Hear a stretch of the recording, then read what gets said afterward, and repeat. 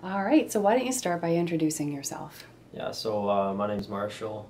I'm resident here in Guelph, Ontario. Uh, I'm a student at Niagara College, uh, 20 years old, and uh, looking to be a professional golfer in the future. All right, and so why did you come to Guelph Hypnosis Works? So, being a, a golfer, it's really important that uh, we have confidence and, and, that we're relaxed on the golf course, and that was something that I found um, I lacked a little bit.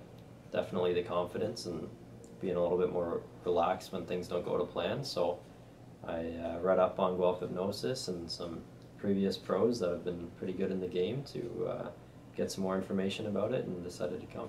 All right, great. And so are you glad you came? Absolutely. And so what did you get from your experience here? Um, well, through the times visiting and, and the tapes provided, I was able to really learn how to get that confidence back and, and be more relaxed on the golf course when things didn't go to plan. Um, just kind of how to overcome through those obstacles. All right, cool. And so, what's been happening out on the golf course for you? Yeah, no, definitely. Um, scores have been lower. Um, reactions have been a lot more rela- relaxed to uh, less good shots, and it's just been an overall better time. All right, cool. And so, do you believe that this is lasting for you? Absolutely, it's gonna it's going to definitely help me for the for the long run for sure.